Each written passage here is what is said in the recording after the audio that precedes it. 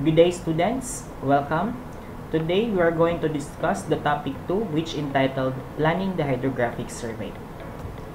So this will be the authors and contributors of this material and here is for the copyright notice. For the outline of the presentation, we have 10 parts of this topic. Part 1 will be the survey planning, Part 2, the hydrographic project, Part 3, assessment of survey tasks, Part 4, the detailed survey planning, Part 5, the ancillary observations. Part 6, the survey team organizations. Part 7, compilation and checking of data. Part 8, operation program development. Part 9, operation duration and cost estimates. And lastly is the liaison with outside authorities. For the intended learning outcomes, after this lecture and exercises, you, the student, must have identified and described the basic requirements in plan planning a hydrographic survey. And lastly is to discuss different aspects in hydrographic plan uh, preparation. To start, we're going to discuss the survey planning, which is the part 1. So survey planning covers a wide range of activities, no, starting from the development of an idea for the survey within the hydrographic office. When we say hydrographic office, it's the um, agency no, uh, that will be going to conduct the specific uh, survey or hydrographic survey. And its subsequent issue as project instructions or hydrographic instructions or what, that's what we call HIs. So from the development of idea until the detailed planning and organization of a surveying ship to fulfill a practical task. So, next is uh, survey planning covers uh, prioritization of resources and day-to-day -day running of a survey ship employed on a survey task. Survey planning involves a blending of these activities into coherent pattern aimed to achieve no, a specific task. So, as we all know that survey or the planning stage is the is a vital no vital in uh, specific survey or activities. So, When we say planning, it's the development of an idea. So, nagsugod na siya on how the survey is going to be run, no? and how uh, surveys are, or the hydrographic survey is being um, implemented in a specific area to achieve a specific task. No? From, a, from a development of an idea until the detailed planning and organization. So all the aspect must be considered during the planning stage. Mo nang importante kayo si planning. So, like for example, in this one, if we are going to uh, do the hydrographic surveying of this specific river, no? So, the spacing or the lines no, that are going to be achieved kung mo agi ang ship or ang inyong boat. So, these um, specific lines are being um, planned no, during the planning stage. Like for example, we need to achieve the high accuracy of um, profile of this river. So, dapat mas um, dugol ang iyang spacing. So, that's one considerations or one aspect that are going to be considered during the planning stage. So, a survey planning begins, or a survey begins rather, long before the actual data collection starts. Some elements which must be decided like the exact area of the survey or the project area, no, to be exact. Aharaman tataman mo survey. Next is a type of survey. No? Of course, kung uh, the standards na itong discuss last um, discussion sa topic 1, if it's in order 1, order 2, order 3, or special order. And the scope of the survey, if it's a short or a long-term kind of survey the platforms that are we going to use no that is also available. Like for example ships launches aircrafts list vessels cooperative agreements. And dapat suitable po siya sa isa ka area. Like for example if the area is shallow so dili jud pwede ang ships no. And kung sobra na pud siya kaayo kalawom or gabi na siya ka deep so manginahanglan na gid og ships support work requirement like for example aerial and satellite photography no to support or sa secondary data sets mo ni gitawag ng secondary data sets geodetics no for example the control horizontal and vertical control and the tides, which is the basis for the vertical or the height measurements. Also, to be decided is the limiting factors like the budget, political or operational constraints, positioning systems limitations, logistics, and etc. The budget, no? kung kaya ba gid nato siya i um, i-execute no using um, ships no kung itahay magrenta pa taog ship so nya gamay da imong area nga i-survey so dili siya economically um, economically nga suitable no? so dapat ato siyang i-anticipate ang budget political or operational constraints like for example basin na conflict between two the boundaries of two um, municipalities. Labi na sa kanang mga labi na the Philippines is an archipelagic state. So daghay mga islands or islets the boundaries of uh, between two um, adjacent no nga province or municipalities ay usually nasa water. So if ever na conflict so maka epekto na siya sa ato ang pag-execute of hydrographic survey so like for example this one no this is the scope of the survey no? So, kung kanara imong scope sa survey, sa imong kung anong hydrographic sa surveying or dira ka nga area mag hydrographic surveying, so you need to decide if what is the equipment that you are going to use. So, tabol na ba dira si boat, no?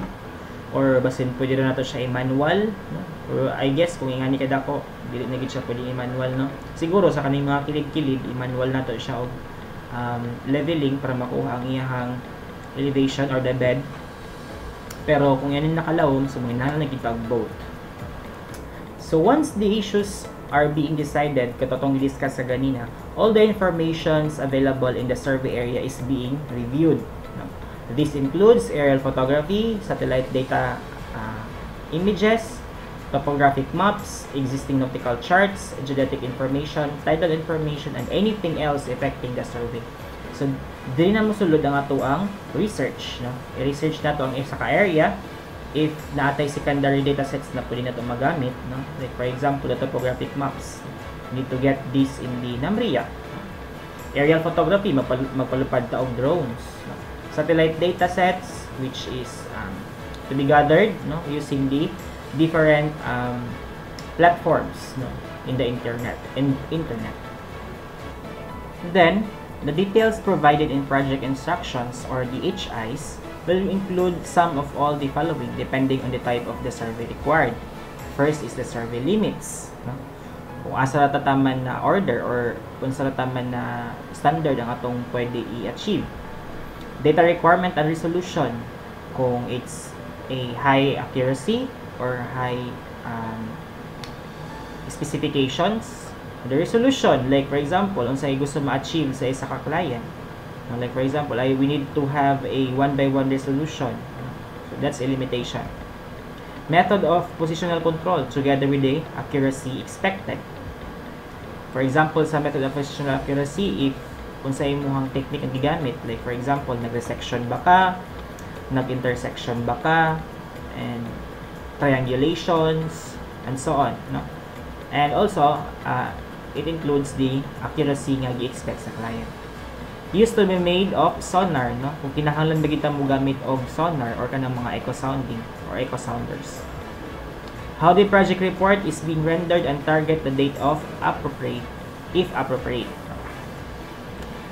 And uh, in general, at times in detail, description of the reason for the survey priorities the methods to be employed, particular observations to be made, and other relevant, relevant guidance and uh, instructions. So, dapat detailed na siya, no? Dapat ma, ma specify na to no, sa plano kung ang priorities, ang methods ang gigamit, and other relevant guidance or instructions.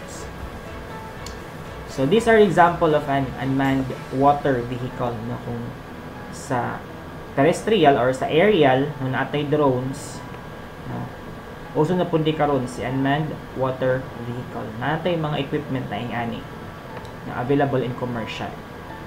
So si boat na mo uh, dagan sa water. Pero dili ni siya suitable for kanang uh, sa dagat na labi nagbalod kaayo di matumba ni siya. So kani is katong constant lang ang iyang current no dili kaayo uh, balod so ingan ni iyang operations. Mo emit siya og uh, sound padulong sa bed then goes back padulong sa sensor.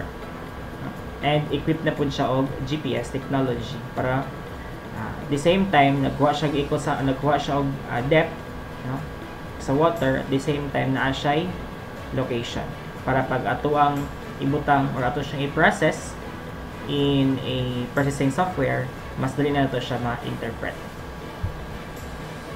In addition, the appendices to HIs will give instruction or guidance on the following. The horizontal datum or the projection and grid to be used. Of course, this is really important. No? The horizontal datum, asa man kamukuha sa imuhang reference. Projection that we are going to use.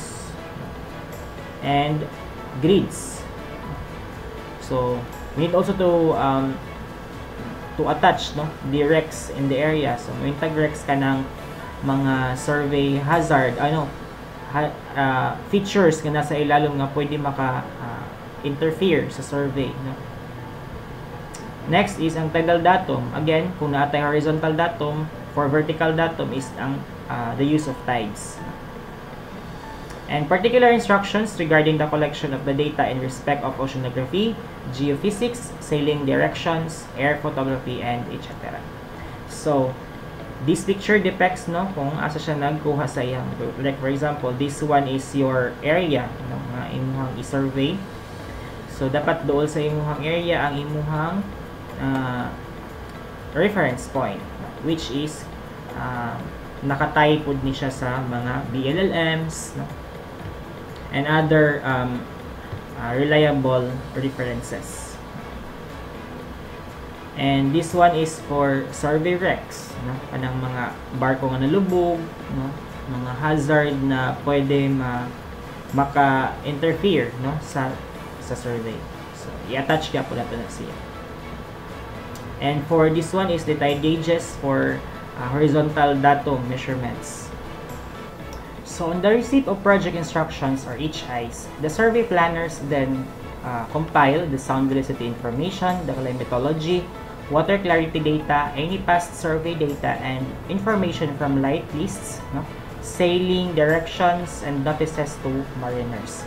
So again, in this part, no, in, if the um, the project uh, office, no, or katong uh, pag ma-receive na nimo ang instructions from the agency or a specific agency, Now, the planners or the survey planners are going to have a secondary referencing or secondary research about the um, secondary data sets that uh, might be useful no, in and doing the hydrographic survey. Like for example, the sun velocity information, no, the climatology or kanang ginatawag na to, um, meteorological uh, uh, informations, no, water clarity data, any past survey or etc. that can be um, affect the survey uh, hydrographic survey rather.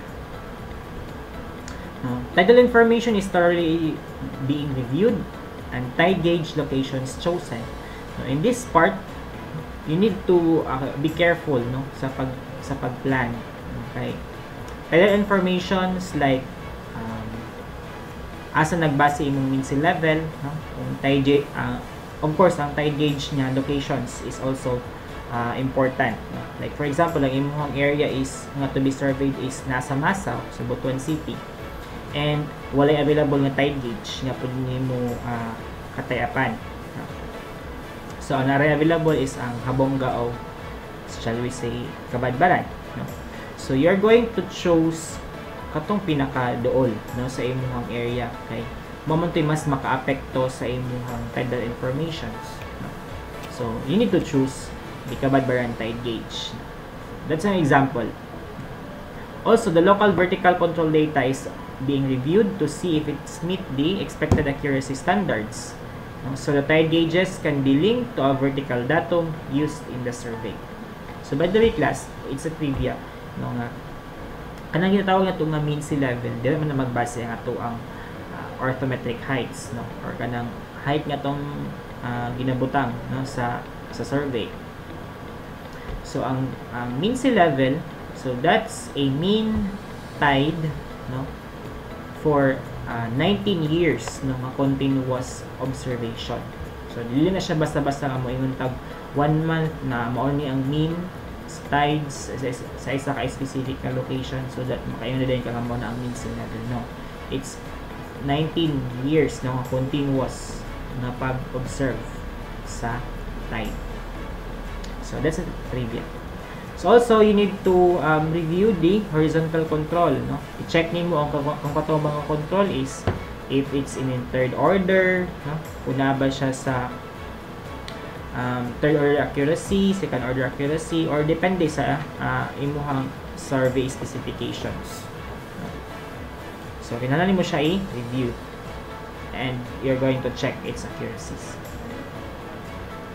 For example, dapat naka-tie up siya sa Station Balanakan which is the um, for, uh, reference no sa Philippine surveys no and mapping. So, dapat naka-tie up siya then i-check nimo siya kung ang ang ang kana ba siya nga control nga imong gigamit is eh, nakasulod ba siya sa standards no like for example uh, accuracy niya no magdepende pod sa imong i-achieve gusto, gusto i-achieve nga output sa survey.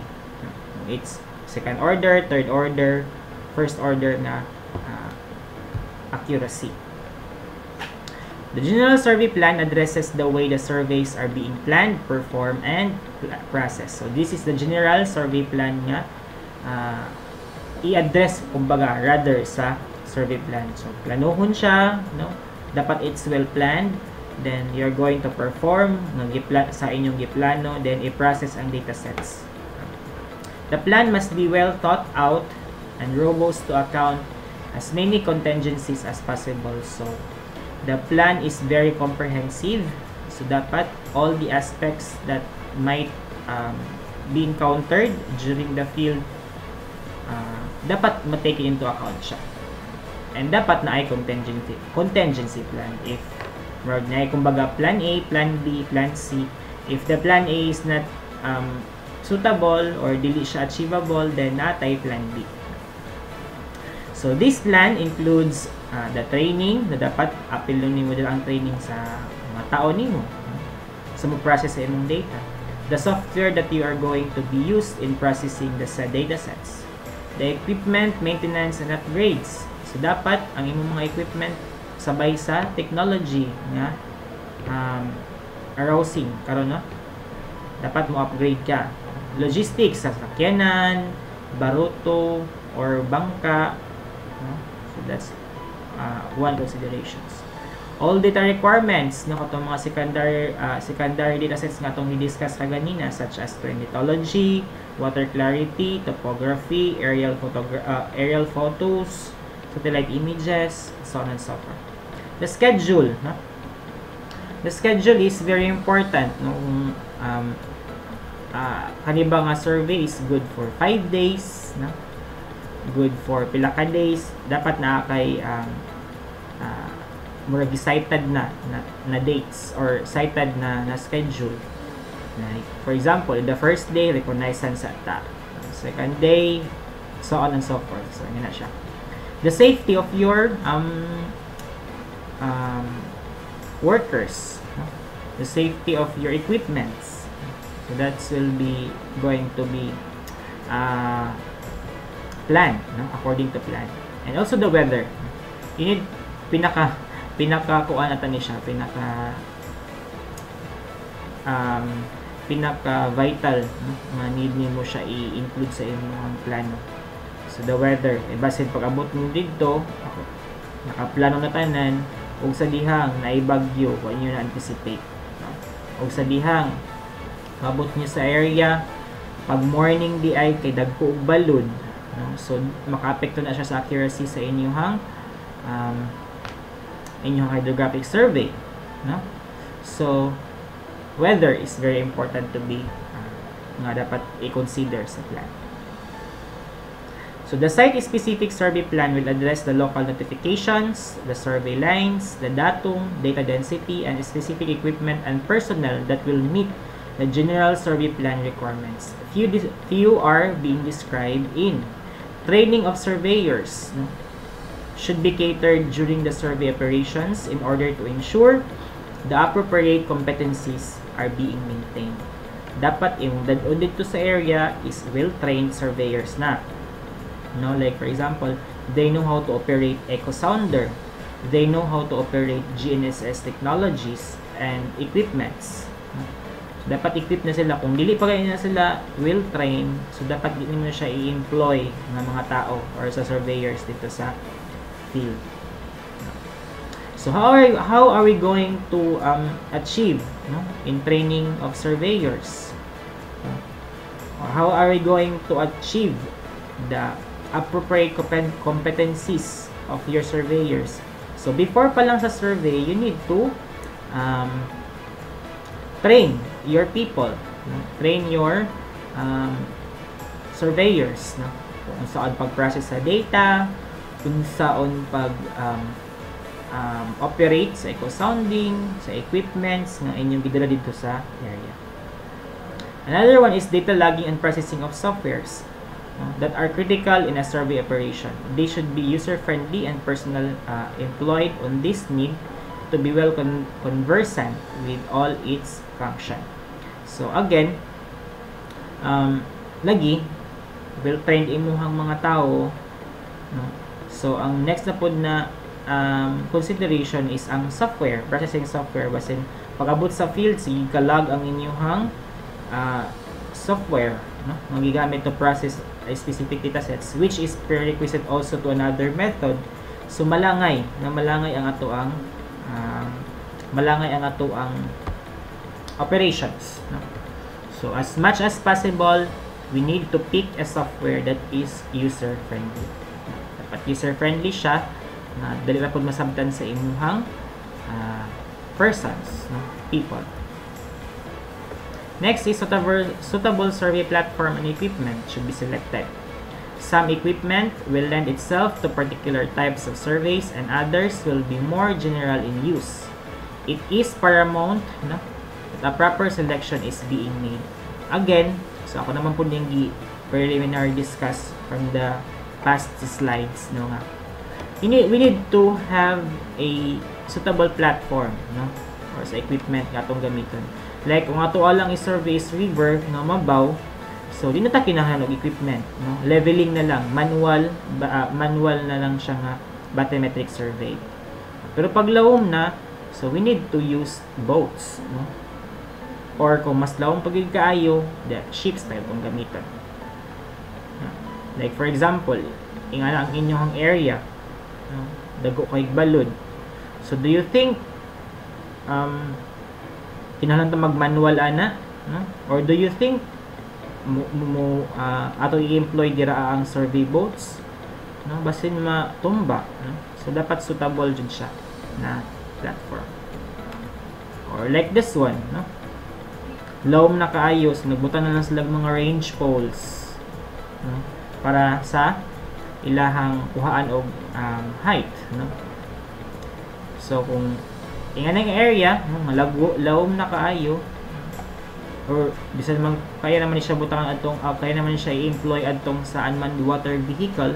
So kato na lang atong gamiton no, instead of mag-manual no. Okay. Base ng inyong um inyong tao is malumos no.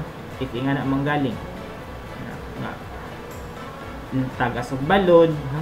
na dili ka balumulangoy sa imong people? So basin malumos sumba ko lang. So safety is very important next is the purpose of the survey will usually dictate the data requirement such as density coverage and precision. So sa survey plan pa lang no i-indicate na to nga kung unsa ang gusto ma-achieve sa ato ang client. Like for example uh, it's ang ihar ang output ba sa data is will be going to use in um, references no for uh, producing producing another kind of information so ngayon siya gusto na kog mas accurate ni nga output no okay um, ang gamiton na ba ni siya sa pagkuan pag-determine sa kanang dredging no? dredging sa sa ka area nga kalutan nila kay para mawala tong siltation sa ubos, sa ilalim sa bed. So, ingan, ingan ang mga cases. Also, the coverage and the precision. However, if there are no impact to cost and schedule, then as many requirements should be addressed as possible. Schedule is often a critical element in hydrographic survey. The data requirement usually has a specific deliverable date assigned, such that the survey data collection and processing that occurs within a very specific time frame. This requires that the personnel and equipment resources be adequate to meet this need. In some cases, if, it is, if the schedule cannot be met, then the survey simply will not be requested and the sources will be used. Considering this, it is important to plan and analyze all the aspects of a general survey plan with the ability to meet the schedule as a prime element. So again, in every task, no, in every um, activity, there is always a deadline. No? Imagine the deadline. And um, part of the plan is to hit that deadline.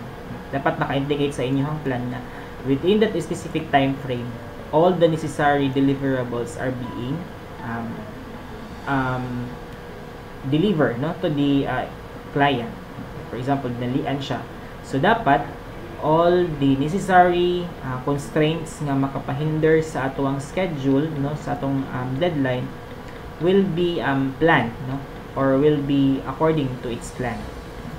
So there is a time frame no mag magpinaspasay ta kaya para maapas na to ang deadline no? but due to times constraints no like for example na bagyo so dili na siya pwede nga um, iya, uh, dili na to siya pwede nga mag-survey ta bisag nagbagyo no. Kay bas kita ang ato na pong safety ang na-risk so kintahan ni magbaha no. Wala mo na anticipate no wala mo na anticipate sa imong survey plan niya na day bagyo no tungod sa imong ka busy in hitting the deadlines wala nimo nabantayan nga at the very um, day nga imong schedule sa pag hydrographic survey is nagbaha no times time constraints so may tabo is mag naman magdili dali na dayon no magtago-tago na dayon sa client no? so di dapat ingana no? so dapat all aspects must be considered in, during the planning stage pa lang. Schedule the weather nga ma-anticipate nato so dapat according siya sa ato ang plan. And safety is the primary consideration of course no vital dyan na siya. It is incumbent no on the person in charge in the field to evaluate every situation for possible hazards. Possible hazards, like for example, kung si possible hazard nga um, encounter na to when it comes to hydrographic survey. Of course, kanang baha no or kanang uh, tides, no? Tag, mag high tide siya. So possible na dagko og balod, no? So, atong ang usa to possible na buhaton ana is atong i-determine kung kana sa to ay hang low tide no or katong dili kay siya uh, tagdag ko balod no tong linaw pa siya pero sa masaw no pag morning gabi kalinaw ang tubig pero pag udto-udto na no so kuan yun siya kanang dagko na og balod so what you're going to do is we're going to set a schedule na dili pa kay siya balod para dili kay siya maka um, apekto sa ato ang survey accuracy so kung man um, possible hazards um, maybe sa kanang mga kuan abot nimo sa field mga aero no? Mga na mag-set up mo og kanang sa inyong reference ng aero sa mga um, balay dito sa specific locations no? possible na siya nga mga hazard.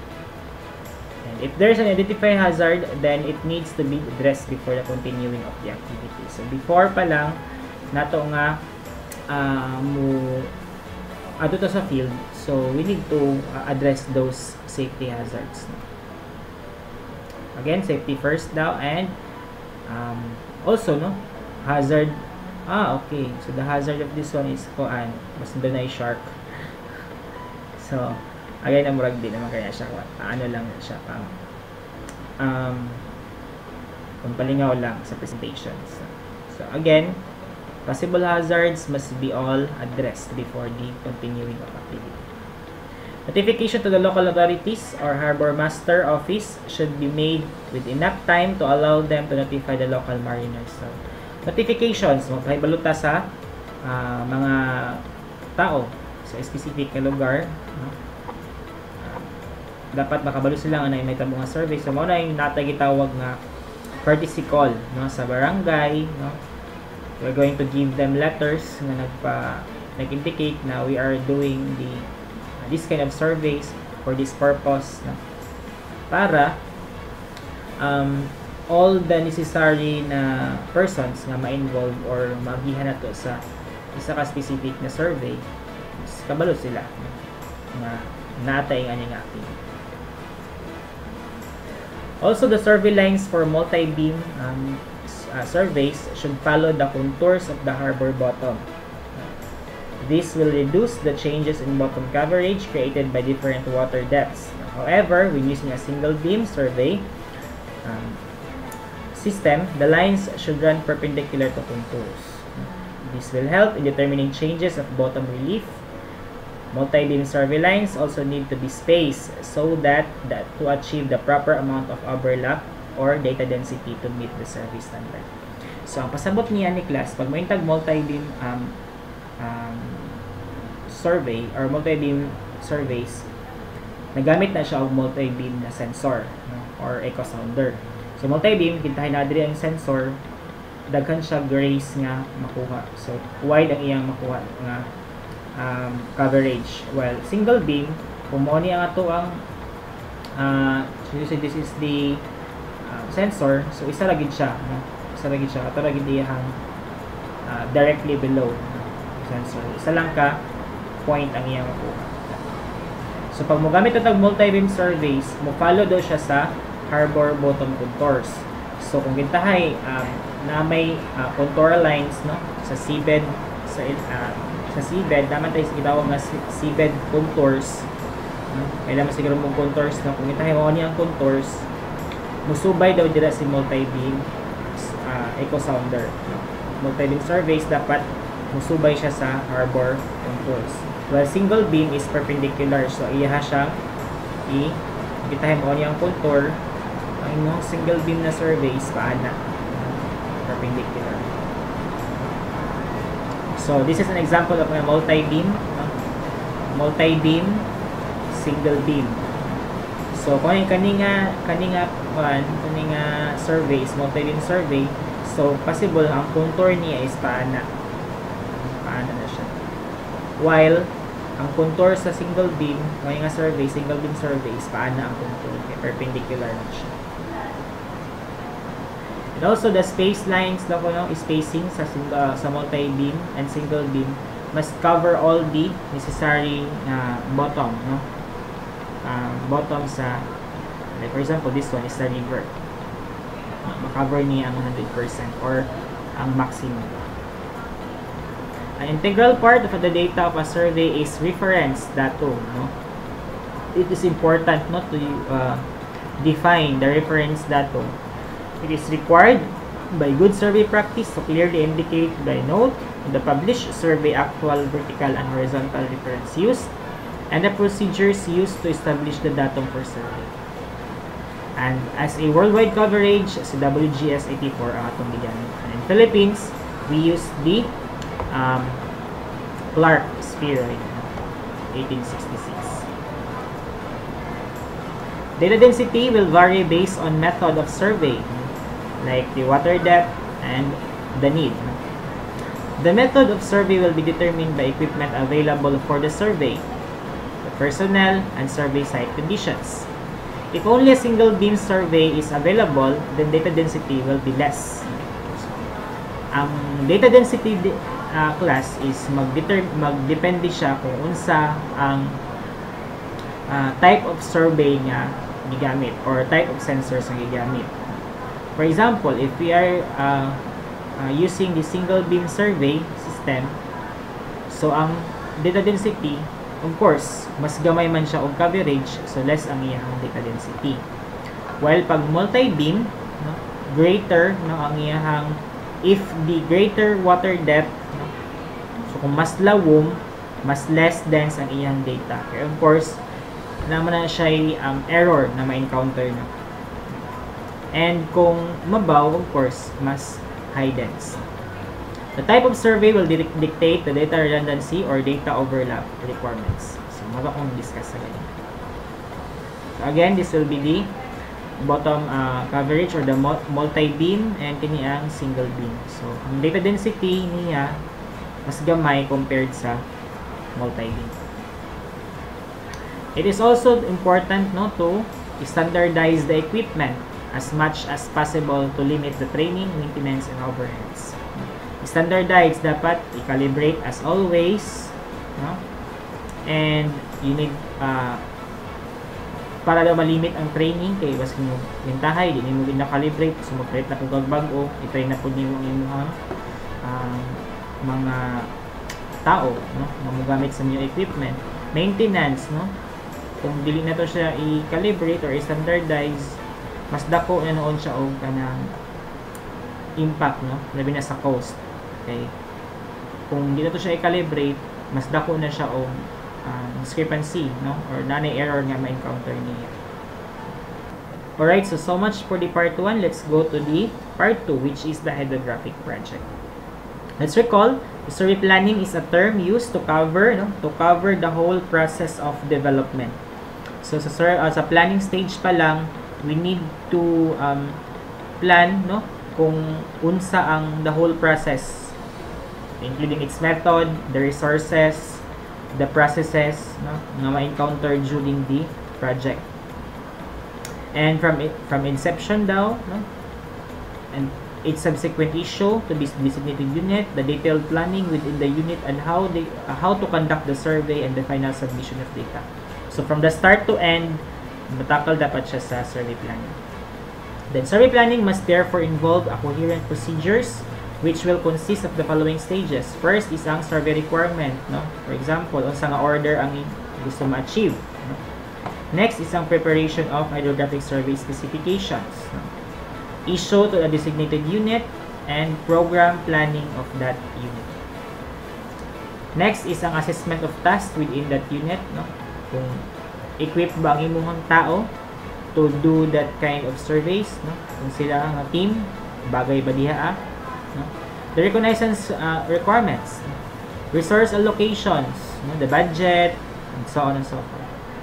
Detailed survey planning, no? so on na to ang diri sa detailed survey planning din na masulod tong mga um, necessary nga uh, sa processes no?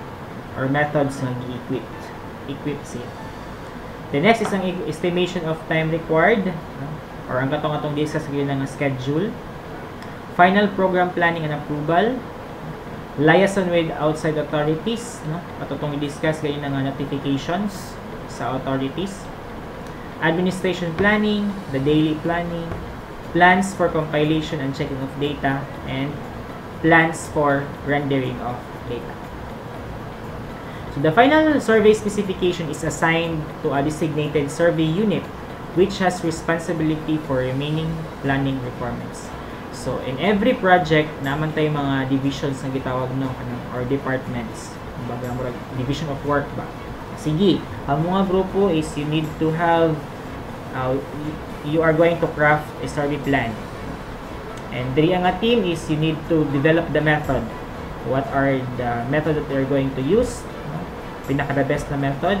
The next is ang processing. Sa processing of data, what are the softwares that we're going to use? um, what are these um, um, the resolutions na gusto nato i-attain that's yung ang mga standard a designated unit might be a government surveying vessel or an independent survey party working either in a chart, uh, chartered vessel or using boats or a commercial company uh, working under a contract pwede no na pag mo yung taog designated unit a term designated unit is um, the one, no? Pwede siya uh, government surveying vehicle. Pwede po siya ka ng mga private, no? Nga na yung mga private uh, companies nga na sila um, survey boats or equips equip sila no to have the uh, project and each nation will have its own planning process of course and in the Philippines si NAMRIA ang ga uh, buhat no or ga do ani planning process labi na sa hydrographic survey Alright, so for part 3, it's for the assessment of survey tasks. Before the detailed planning can take place, the surveyor must be very clear uh, about the aim of the survey and who will be the primary user of the informations. So, mag sabotable naman ni siya no nga if um, before ta mo adto sa planning stage dapat ang imuhang tao kasayod or mas be know no on how the survey is going to be implemented. Like imo silang i-orient okay we have this project this is the survey accuracy this one is the ato ang resources nga available so what are the necessary assessment nga atong pwede buhaton para mas mas ma-achieve na to ang gipangayo sa client. Yan ano? We need to assess everything. And imo siyang i-assign na okay kisa may mas equip na mahimong chief of party of this one this survey. And of course the surveyors must study no, the survey requirement, accompanying data and graphics of the area to be surveyed.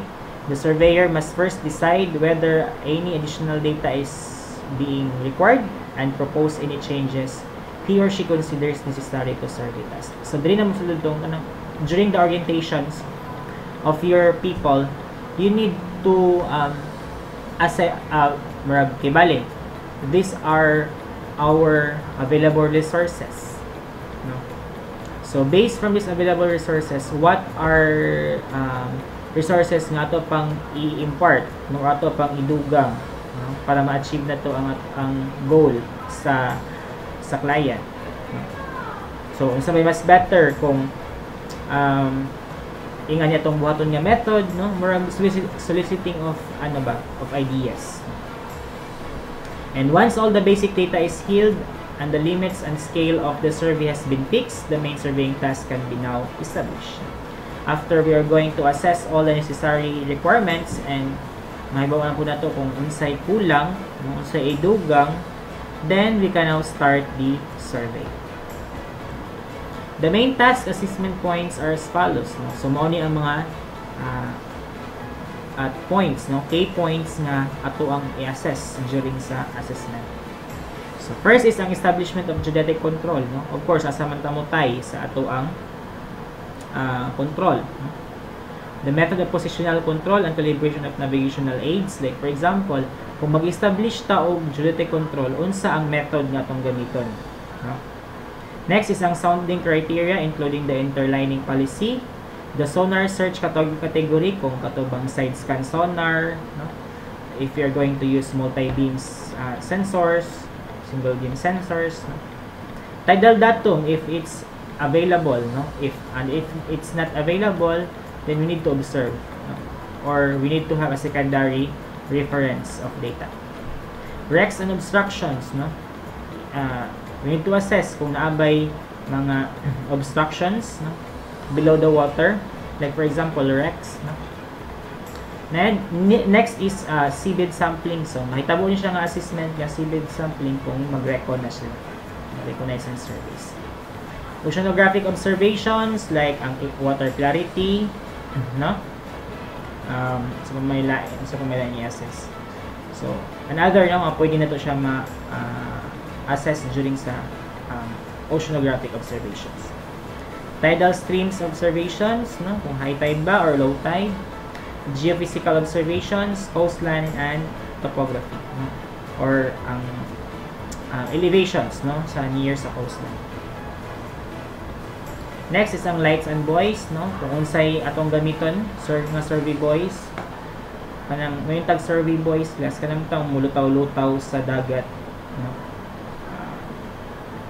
mulutaw sa dagat nga at that point is mo na to ang gi murag timailhan no kuhaan na to siya og um, locations and so on and so forth setting direction and views no the radio signals ancillary observations that includes vertical photography overfalls no measure distances reading lines shore magnets and so on and so forth and lastly is ang passage observations In assessment of survey tasks, the existing data also are being um, assessed. No? This should be studied carefully together with the relevant sections of the tidal data, no? sailing directions, aerial photography, and topographic maps. So, we need to assess if these data are being um, available, no? or these resources are available in the different um, sources. Sa internet ba or sa agencies, other department agencies.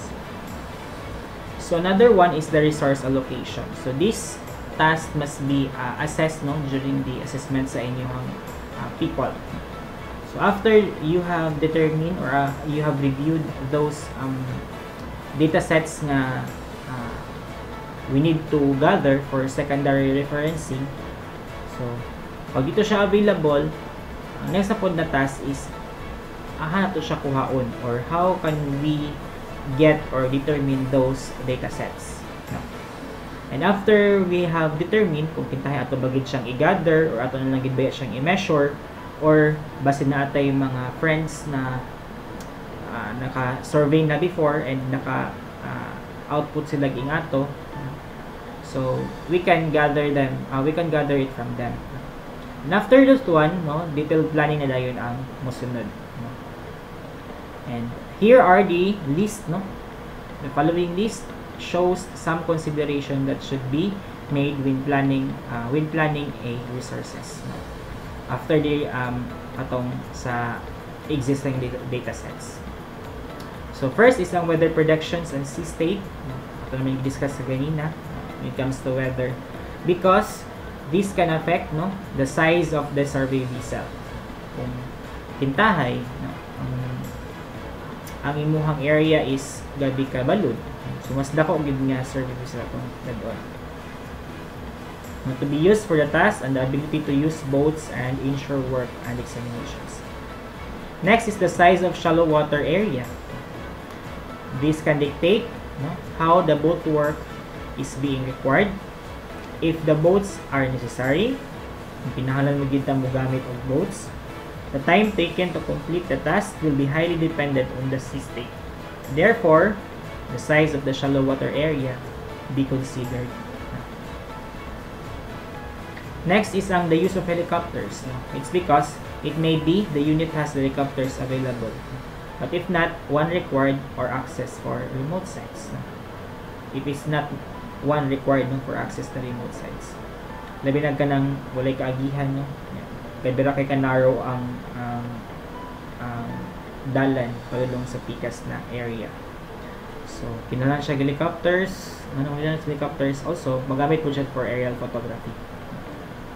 Next is uh, logistics. No? The endurance of the surveyor's own resources will dictate the fuel. No? Logistics na kinahanglanon. Water and uh, water and stores requirements, the maintenance of the equipment, and other consideration. Sa nasunod na siya sa logistics. Next is ang planning for planning resources is ang manpower. No? The number of specialization of personnel required to meet each task no must be assessed. No kung sa sa sa isa ka project ba kung sila ang uh, kung isa ka project ba pila ba katawo ang need para magduog hydrographic survey or the bathymetric survey changes of personnel no? mail and communications leave and recreations medical facilities no? whatever oh, base na yung may tabo na um, accident no? na abay available dito ana medical facilities shore support and transport and shore accommodation and monetary arrangements. So, ato na siyang i-assess. Next is ang topography. So, this will dictate the resources required to access the sites ashore. And lastly is ang detached boat camps. A detached boat camp may be ordered by a survey specification, in which case the planning list above should be followed. However, consideration should be given to detaching a boat to conduct inshore work and shore uh, shoal investigation if a suitable harbor or sheltered mooring exists. But the time spent lowering and hoisting boats is unproductive. So, uh, additional for assessment of survey task, we're going to investigate what fishing activity is likely to affect the survey progress. Together with the con uh, constraints imposed by danger firing and practice areas, shipping lanes, and marine traffic choke points. So, we need to determine no, kung kato bang area uh, sa isa ka ato ang area nga i-survey is naabay anang fishing activities dadto no?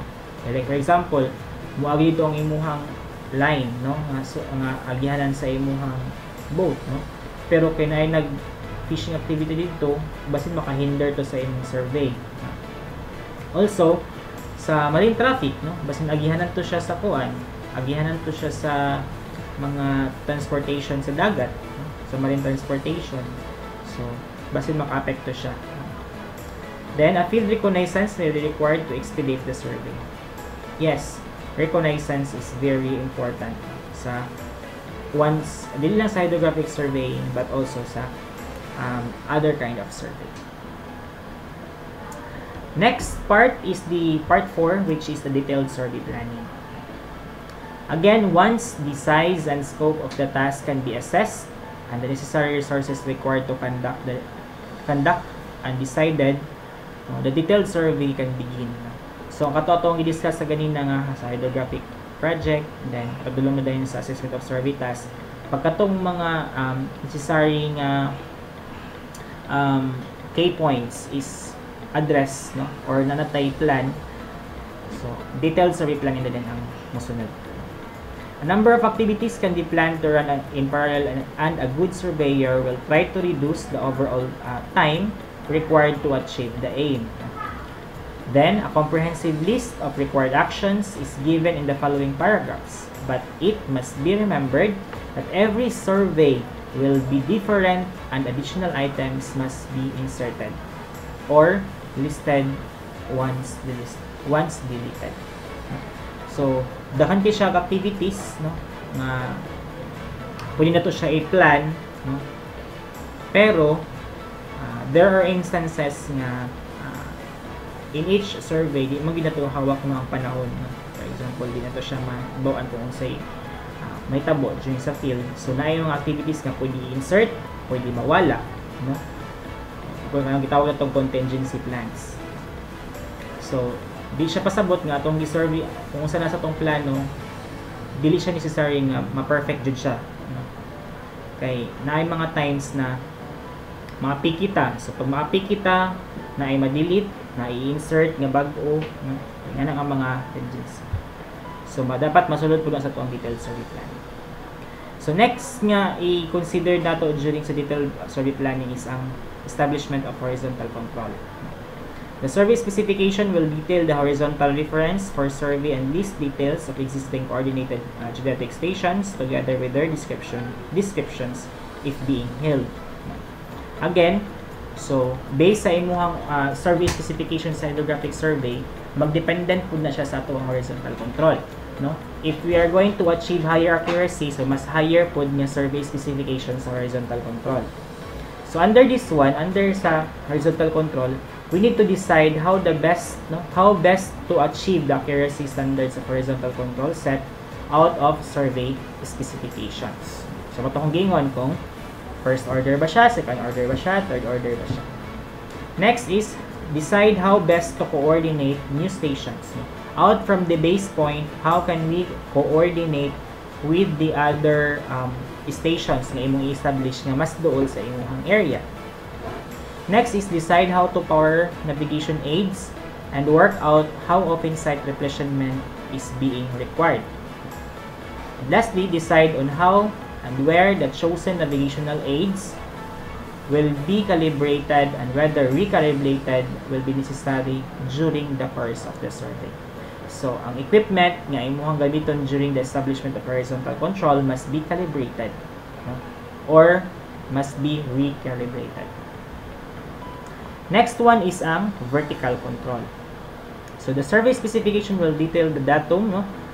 which soundings are to be uh, reduced and its rela relation rather relation to existing land datums so these are the list no no? A list of any existing uh, benchmarks should all be provided also be provided. So mo ni ang iyang planning points na i-consider sa vertical control. No again so sa vertical control dapat na po kay existing nga mga land datums or benchmarks nga pwede na to siya kakuhaan as a reference. First uh, consideration is decide where to observe tidal heights if not uh, ordered in the survey specification. So kung kibali dili kung kung wala nakabutang sa survey specification sa imong project, kung sa siya survey specification rather. So asa ta mag-observe og tidal heights, aha ta mag day I mean aha ta mag refer sa to ang heights. Next is decide on the seating of additional poles and gauges if required and plan the laying and recovery of offshore gauges if appropriate. So, mag-decide ta kung magdugang pa ba ta og uh, tide gauge. No? Kung necessary pa dito mabutang og tide gauge, kung wag tayo makita nga local datum, local tidal datum. Decide how best to establish chart datum on the pole gauge of existing benchmarks or from transfer of datum or observation and analysis. And lastly, decide whether co-tidal adjustments will be necessary. So next is the um, tidal streams. No? Uh, these are the um, considerations. No? Establish the expected maximum rate and direction of tidal stream within the uh, survey area. Determine the requirement. No? We need to determine the requirement of full tidal stream observations and how online observations can be conducted. so kung kinahanglan pa ba ta mag-online observations no na, may mga platform karon sa internet na we can have the online observations. We can tie up with the observations through online sa mga tide gauges or tidal streams. Low tide ba siya karon, high tide ba siya karon. Identify charted overfalls, eddies, and um, freshwater springs and plan to observe them. For sounding, these are the following these following uh, general considerations. First is by examining the largest scale charts of survey area and previous survey locate. So, ang pasabot lagi niya class if na by uh, existing no nga uh, initial surveys no, or charts nga na um, gather then investigate them ito siya i-investigate kung uh, suitable ba siya sa pang mga gamiton. Plan main survey line spacing no, and direction of the sounding speed.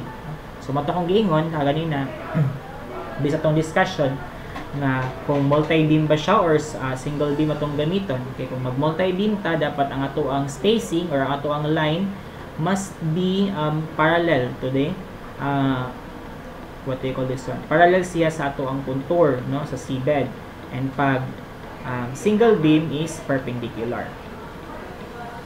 Then plan cross line direction. No? Normally the right angles to main sonar and sound line direction and plan to run this at the start of the survey as a crucial quality control measure. So, same lagi po siya concept sa katong line spacing. Estimate likely spatial or temporal, temporal changes in sound velocity, regime, and plan initially sound velocity probe coverage. For sound velocity, kung before ka mag uh, before na mag-start sa actual yung survey, we need to estimate uh, the initial no sound velocity sa isa sa sounding device. Next is ang estimate the sounding error budget and compare the survey specifications. Uh, based from the reconnaissance na itong uh, survey, uh, ma-determine naman natin no, kung balod ba yun siya or dili. For example, so kung balod kayo siya, we need to estimate the sounding error kaya maka-apekto man siya sa uh, survey accuracy. Then, if we have calculated the sounding error, then let's compare no, for the survey specification kung nipasok ba siya or wala. Next is the vessel speed is to be assessed for the expected range of depths no, in the survey area and the type of echo sounder that are be, that are we going to use. Vessel speed no to achieve the expected na survey accuracy na na siya uh, vessel speed like for example pila man ka kilometers 10 kilometers per hour sa vessel no And we need to also to determine the type of echo sounder. Is multi-beam ba siya? Single beam? Side scan sonar? Oblique ba siya? And so on and so on. Next is the lines of sounding should be planned and run along the recommended tracks, lead lines, and possible anchorages. and off headlines pass close to hand by vessels on normal passage. So, mo na kong i-discuss po ito ganina a while ago. No, the uh, we need to plan the spacing of the lines for sounding. Okay. Ang lines po sa sounding maka-apekto po na siya sa sa ang survey accuracy. You are going to use the multi-beam, so dapat parallel siya sa contour. And pag single beam is perpendicular. Next to be considered is the coastline delineation, conspicuous objects, and topography. So the requirement of for mapping the coastline and other topography will be defined in the survey specifications. So not only that we are going to focus in the uh, water area bodies, but also we need to delineate the coastline or the coastal areas. So, using the charts and any photo plots supplied in uh, with the survey specification, identify those areas adequately covered and those requiring for additional works. The surveyor should attempt to obtain copies any of the uh, relevant local modern charts, maps, and geodetic, geodetic data that is for the additional no, to those supplied with the survey specifications. Alright, for the part 5, which is the ancillary observations. So, first thing in ancillary, uh, ancillary uh, observation is the ge geophysical observations. So, survey specification should detail the geophysical observations that are required. But also, yeah, generally, no, magnetic and gravity observations can be taken concurrently with the bathymetry. So, kung, kung, kung required ba ta nga mo undergo with the gravimetric uh, observations to determine the heights for bathymetry. And the survey specification will cover coast, uh, cover line spacing in detail.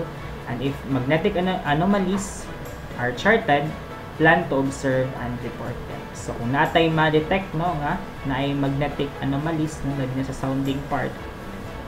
So we need to um, report them no, na ay na-detect magnetic anomalies. Next is the lights and buoys. Established with lights should be visible from the survey ground and plan to check their characteristics. So, survey buoys, kanang ibutang na to nga uh, uh, more palutaw, kumbaga, no? more float nga. At that specific location is we need to get a location or um, location or uh, tawagan ni? We need to determine its locations. Yang coordinates.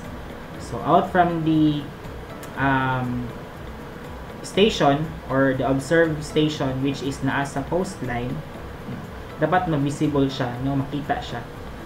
Bisan pag naa ka sa coast coastal areas nga nag nag nag-observe no? And you need to get the uh, coordinates or the location of that specific survey buoy. So, makita siya. Next is establish the number of buoys that required uh, that require to be fixed. Kung pila ka buok kinahanglan na survey buoys ang i-employ dito sa dagat. Next is the air photography. No? If air photography is ordered, no, kung kinahanglan gid siya, na mo gamit ta og uh, aerial photogra uh, photography, then fly to uh, plan to fly it during the advantageous tidal and weather conditions. Of course, dapat natin awalin nga flight plan nga sundon kay bali sa drones and uh, dapat advantageous po sa tidal or weather conditions. Kaya di po siya pwede pala pala itong drones kung uh, ulan no? or kusog ang hangin. Labi na kay dool ta sa coastal area. Then, the subsequent photographs may be used for coastlining and topography. It's because out from the aerial photography, we can um, generate a uh, elevation model. Next is the jetties, wharves, and landing stages. No? need to plan no? to check the details of jetties, wharves, and uh, landing stages. This can normally be done during the boat sounding operations. Kung ara pwede mo uh, dunggo no? Sa ato ang mga atong survey boat. Alright, so for the next part is the survey team uh, organization. So the senior surveyor or the lead surveyor will normally prepare the survey order, order book. No? which will give an overall plan. So narito nakabutang ato ang uh, nakabutang ang overall uh, survey plan no and specifications stating how the survey is being um, executed or being tackled and the detailed responsibilities for the planning and execution of the work. It will be vital to have a flexible and well thought out plan to coordinate times of the boat lowering or hoisting, chains of boat crews, no? um, provision of uh, victuals, and instructions to those in charge of the work. And if ever, no, kung namang galing shortage of manpower, no, kung problema gid na siya, no, kung naay shortage sa shortage na sa manpower. So, sa start pa lang sa survey, kung kulang na ang tao, so, maka-apekto yun na siya sa ato ang uh, survey. With observing and tidal parties away simultaneously in the boat cruise and shore parties uh, on, sta uh, on standby to land navigational aid. So, tunga-tungaon man na siya, no? So, kung naay mo sakay sa baruto, naay sa or sa boat, naapoy uh, naka-standby lang sa um, shorelines nga which is mo observe no mo observe or mo get og informations or to locate the boat kung unsa iyahang uh, coordinates no? to monitor na po uban niya standby for whatever the hazard nga mo occur no? na mo rescue agad-agad uh, it requires careful planning and structuring uh, that ensures that the data is acquired and handled in the most efficient manner. So, with the organization of the survey team, no, kung natay delegation of tasks nga ikaw dito ka sa uh, sa boat, assign ka, mag, ikaw ang mag um, operate sa eco sounder. Ikaw dito ka sa sa shoreline, no? Standby ka, then ik, ikaw pod ang mag-monitor sa uh, dagan or flow sa survey So, yan na nga mga instances. So, dapat naka-organize siya kay para ang uh, para ang data nga ma-acquired is um, reliable, efficient, no? in, a, in an efficient manner. The pressure on all surveying units for increased productivity is considerable. Good management and planning as well as positive leadership is a fundamental to success the survey. So, kung naatay proper organization sa atong survey team, good ang ato ang survey, and also we have a good management, ang tanan jud na possible na ma-consider is makita jud.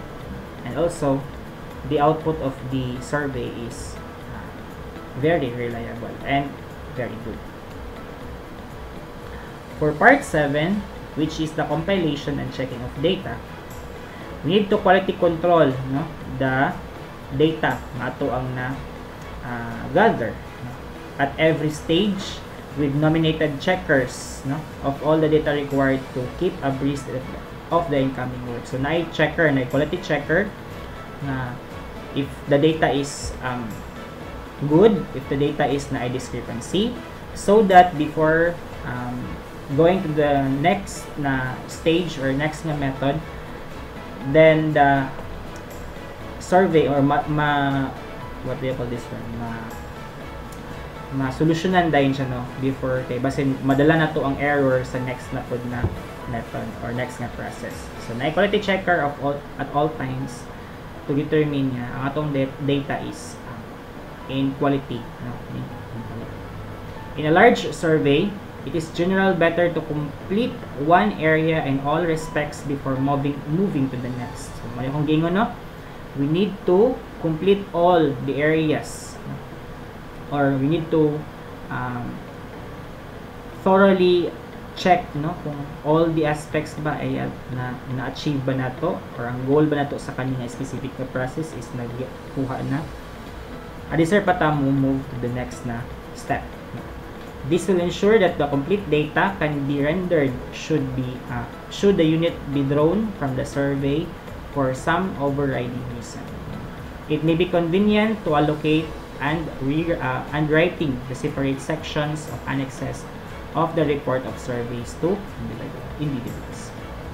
Then all transcripts and re- records should be compiled as survey progress and not left until afterwards if if at all possible. So again, tanan nga uh, nag-gather nga data nga na quality check na siya and re- ready na siya for um, uh, next step. So dapat i-compile to siya. Pero i-manage nimo ang data kumbaga ba. Before before you're going to the next step, all the necessary aspects is being considered and compiled. The comparison of survey data with previous surveys is a most important consideration. It should proceed with the fieldwork and planning should take account the additional investigation and disproving searches that may arise before difference between charted and survey data.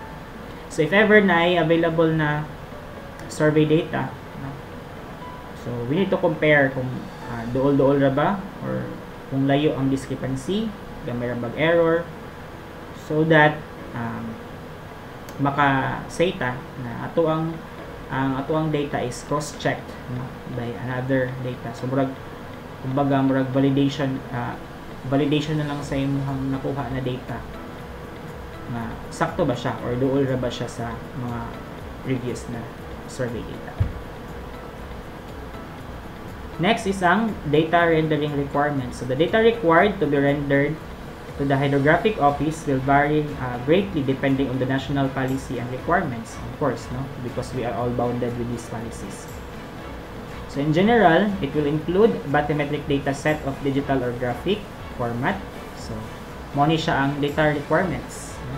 na mahimong output depending sa national policy and requirements. Next is ang navigational track data in digital and graphic format, sonar data sets, again in digital and graphic format, seabed texture data set in digital or graphic format, and lastly is ang of survey.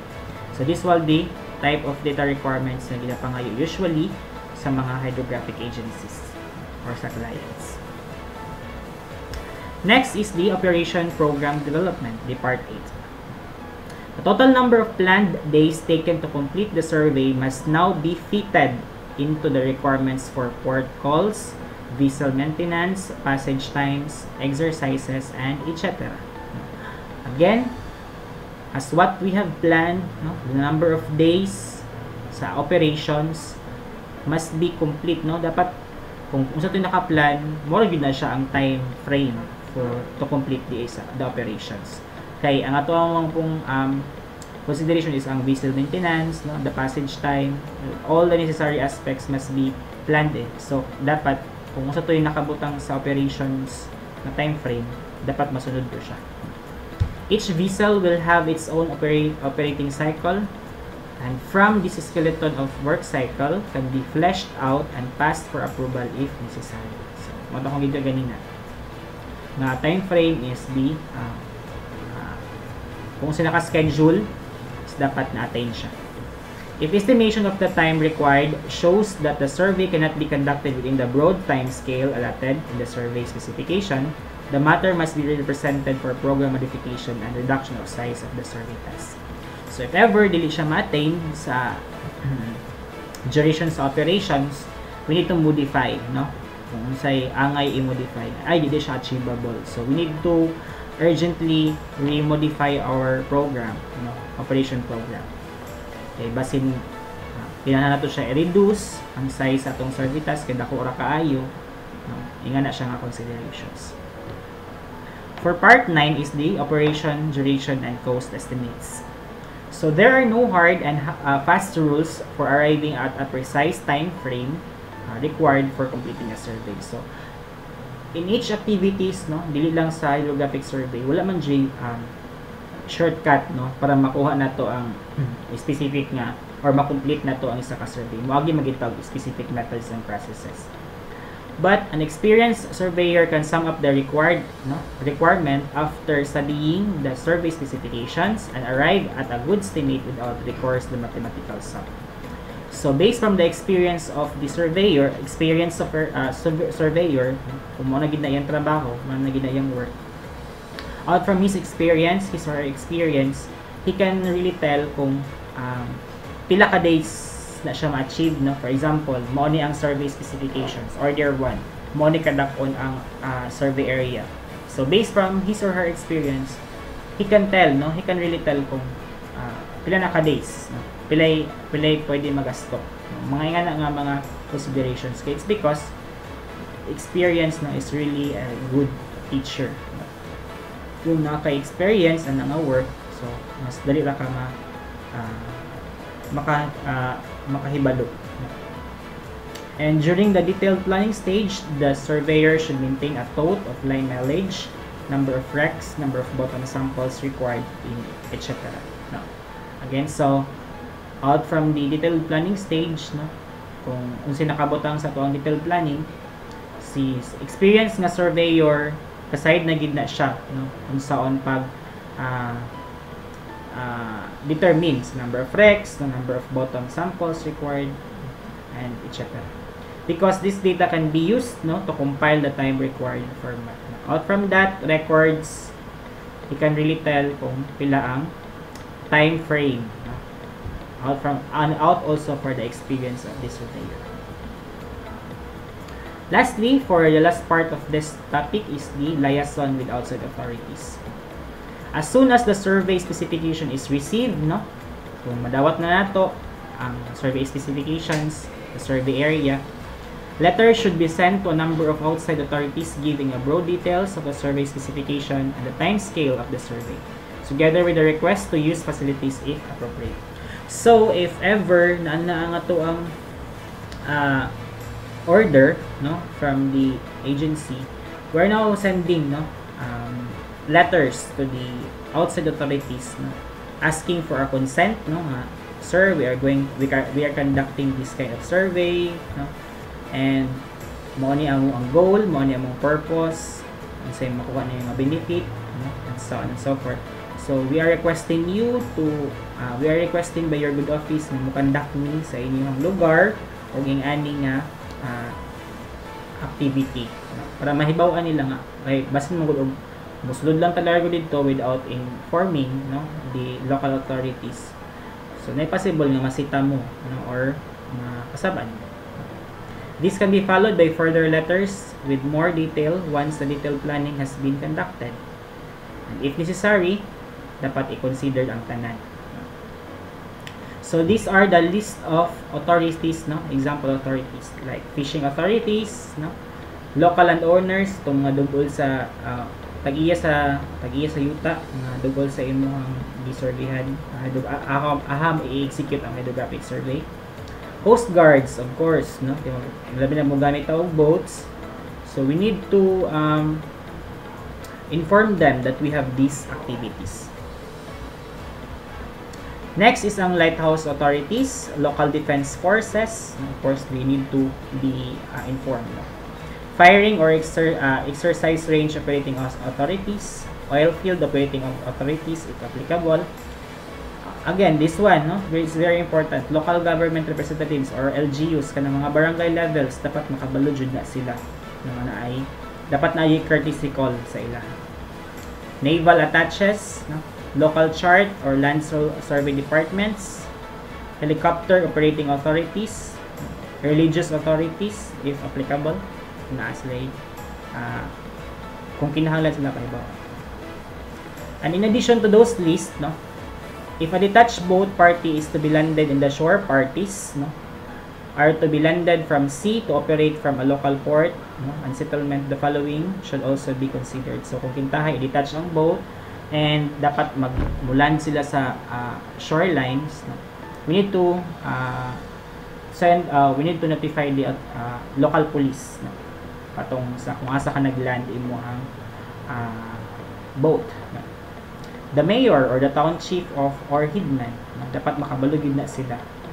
Labi na sa kanang dagko nga project nga nag-consist na of different municipalities. So you need to inform the mayor of that LGU harbor authorities and lastly is the local service establishments next is kung nahato na to sa ilang notification need to follow up no? follow up follow-up visits may need to be made during either advanced survey reconnaissance or on arrival. So, bisan pag nag-send ng letter sa ilaha, ni perma na sila, ni confirm na sila, okay, you can do the survey in this day no I'm gi-indicate diri ah.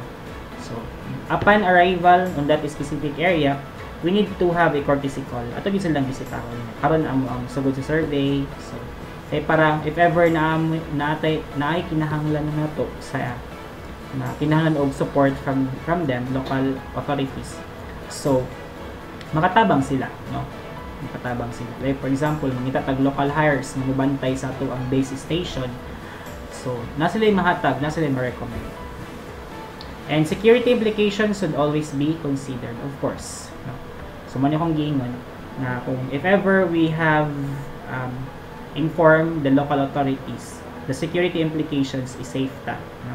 Okay, whatever happens to us in the um, survey or in the conduct of hydrographic survey, ang atong security is um, uh, kumbaga murag safe kumbaga ta ba na we are we are doing this uh, hydrographic survey in that specific, specific area then na-notify na to ang, ang local authorities so whatever happens to us so cargo ta nila no kita nila pabayaan and I guess this ends our presentations for topic 2 and your for your questions and clarifications you can send me or you can send it through um, our FB page, no? message me so that I can answer your queries and clarifications. No? If you have, uh, you can also chat me no, in LMS chat for academic purposes. No?